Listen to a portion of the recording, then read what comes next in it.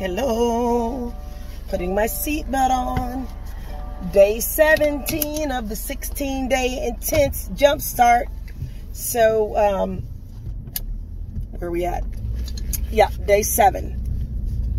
I don't know what it is. I should be able to get these days right by now.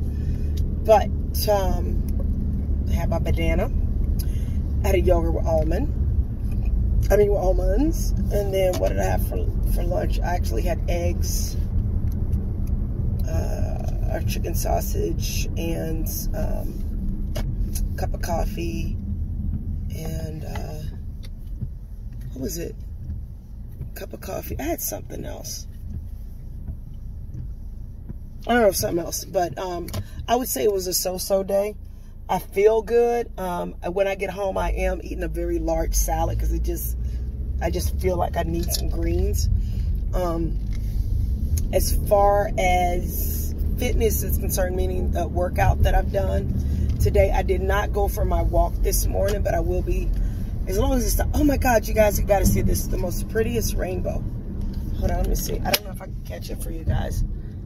I really shouldn't be doing that, but anyway. I just want you guys to see that. Isn't that beautiful? That is so beautiful. So anywho, um, I'm putting my phone back because I'm not supposed to be on the phone. Fitness, what am I doing for fitness today? If it stops raining, I will go walk. If it doesn't stop raining, then I'll do um, a dance uh, routine or some type of fitness routine at the house. But I will be working out. There is no such thing as Doni not working out. You're not going to have to do Got to do it. Got to do it. Got to get my workout on. But I will tell you this.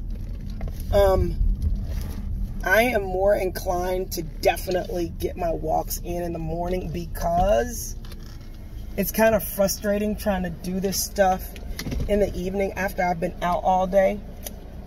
And um, I would just, I, I, just, I just feel better when I start the day that way. So this is day seven. No great revelations or anything eating healthy. Um, oh, my water. I got to get my water in. I think I've only had maybe a half a gallon of water. And I do know that I also feel a lot better when I drink a ton, a ton, a ton of water. So I definitely need to do that. Once again, since I am sharing my journey, I would love it if you shared your journey and anything you're going through right now. Uh, or any goal that you got. Yours might not be weight. Like mine's, if you watch my content, you know my whole thing is health and wealth. So getting healthier and building my company so that we come we, we become wealthier. And when I say building my company, it's my tree services, my tree service, my podcast, my radio show, uh, my books, and my speaking. Um, but my primary focus, which is my cash cow, is um, the tree service. So sometimes you have to keep the main thing the main thing. And if you do that and you take care of it, it makes room for other things to come into place. For example, a lot of the opportunities that I have with my, my show came from the tree service or people that I met during tree care. And so I try to make sure of, oh, why did I do that? I take care of what has been taken care of me. Sorry about my thumbs uh, flipping with things upside down. So, oh, I don't know if I mentioned this or not, but make sure you're getting your vitamins. I need to make sure you guys are getting your vitamin D3, uh, vitamin C, some liquid minerals, um, I do take a thyroid supplement.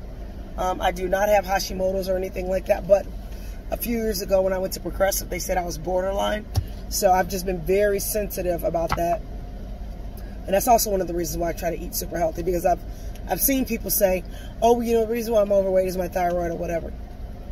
I'm going to be sensitive to those people and say, I understand, and that may be the case. But the other reason could be what you put in your mouth. So, just saying. So if you already have an out of whack thyroid and then you put crappy food in your body, not a good combination. So, um, and I think it does make it a little more challenging to lose weight when you have issues with your thyroid, but it's not impossible. It just might be more challenging, but not impossible. And um, I was actually looking at some pictures the other day, and I know this one is rambling. I was looking at some pictures the other day that are recent pictures and the reason why I'm mentioning that is because even I'm noticing that I'm looking leaner, even though the other day I was complaining that the scale went up. And the reason why I'm mentioning that is because I was having a weak moment the other day. all frustrated because the scale, scale, scale, scale. But I was still conscious enough and aware enough to go, you know what? I am making progress and I'm not going to go sabotage myself because the scale didn't move because there's so many other factors. But that doesn't mean that you should be going up, up, up, up, up, up. It just means that, you know, sometimes things will level out or you go up a little bit or down only a little bit, but you cannot let that be your only marker. You got to think about your health. You got to think about fitness. You got to think about your cardio, all those, all those things. So um, that's enough for day seven. And um, yeah, just wanted to share that with you guys. Alrighty, bye-bye.